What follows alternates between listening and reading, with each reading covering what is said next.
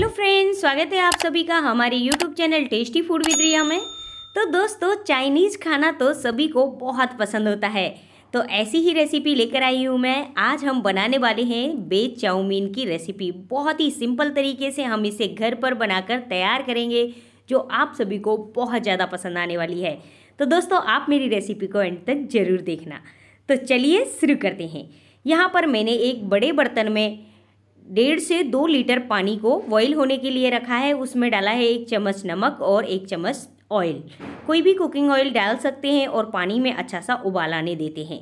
जब पानी में अच्छा बॉईल आने लग जाए, तब इसमें हमें डालनी है अपनी नूडल्स मार्केट में ईजिली अवेलेबल होती हैं। तो आप चाइनीज़ के नाम से जो नूडल्स आती हैं, वो ले सकते हैं और सिंपल उसे बॉयल होते हुए पानी में इस तरीके से हमें उबालना है। बीच बीच में हमें इसे इस तरीके से चलाते रहना है, जिससे कि जो भी नूडल्स आपस में चिपके हुए हैं, वो अच्छे से एक दूसरे से अलग हो जाएँ। और जो हमने इसमें कुकिंग ऑयल का यूज़ किया है, पानी में डाला है, उससे क्या है, सारी नूडल्स खिली खिली बनेंगी, एक दूसरे से चिपकेंगी नहीं। तो सात आठ मिनट के बाद मैं इसे चेक कर रही हूँ, अच्छे से कुक हो गई हैं और हमें इसे ओवर कुक नहीं करना है। तुरंत गैस बंद कर देंगे और इसे दो मिनट ठंडा होने के बाद इसमें फ्रिज से निकाला हुआ ठंडा पानी डालेंगे अच्छे से।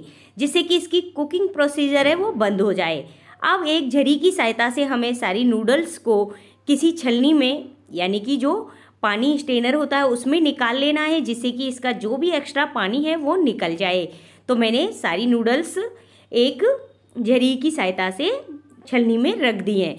इनको ठंडा होने देते हैं। यहाँ पर मैंने एक बड़ी सी कढ़ाई में लिया है ऑयल सब्जियों में मैंने यहाँ पर दो प्याज को लंबे लंबे स्लाइसों में कट किया है। एक शिमला मिर्च और 200 ग्राम मैंने पत्ता गोभी को लंबे लंबे स्लाइसों में कट कर लिया है। तो सबसे पहले हम ऑयल में डालेंगे। प्याज प्याज को हल्का सा रोस्ट करेंगे हाई फ्लेम पर एक मिनट के लिए।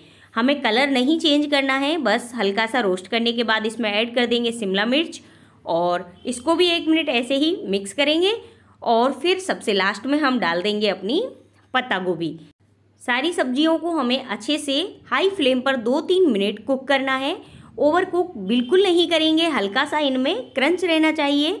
तो देखिए दो तीन मिनट अच्छे से चलाने के बाद हम इसमें कुछ मसाले ऐड करेंगे।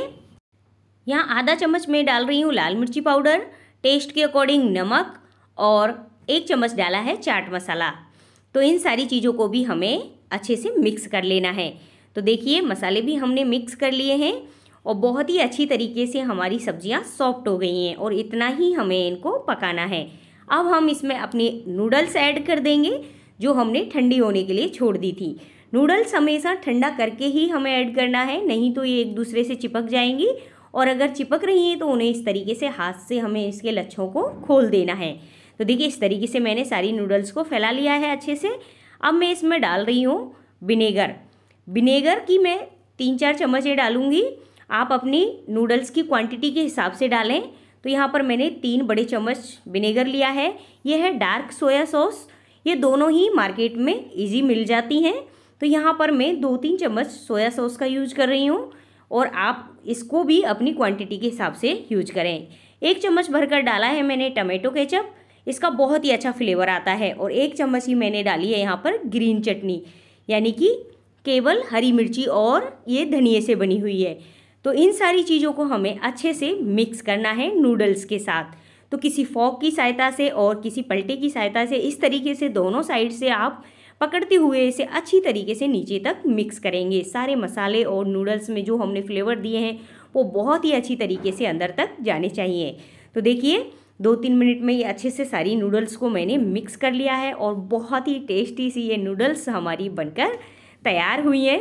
तो देखिए, अब लास्ट में मैं इसमें डाल रही हूँ नूडल्स मसाला। ये एक पैकेट मैंने नूडल्स मसाला लिया है। पाँच रुपये का पैकेट आ जाता है। तो आप चाहें तो इसे डालें, अगर नहीं चाहें तो स्किप कर सकते हैं। तो देखिए, अभी इस मसाले को भी हमें इसमें अच्छे से मिक्स कर लेना है। इससे क्या है, इसका फ्लेवर और भी अच्छा इन्हेंस हो जाता है। बहुत ही टेस्टी हमारी ये नूडल्स बनकर रेडी हो गई हैं। नूडल्स को हम सर्व कर लेते हैं दूसरी प्लेट में। तो दोस्तों, कैसी लगी आपको मेरी ये वीडियो? अपने कमेंट में ज़रूर बताइएगा। फिर मिलते हैं एक नई रेसिपी के साथ। तब तक के लिए धन्यवाद।